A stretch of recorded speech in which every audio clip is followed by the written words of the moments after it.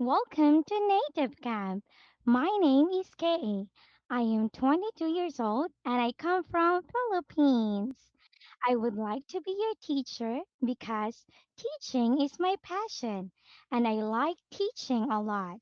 So, this will be a great opportunity for me to teach the English language in a simple and most exciting way possible.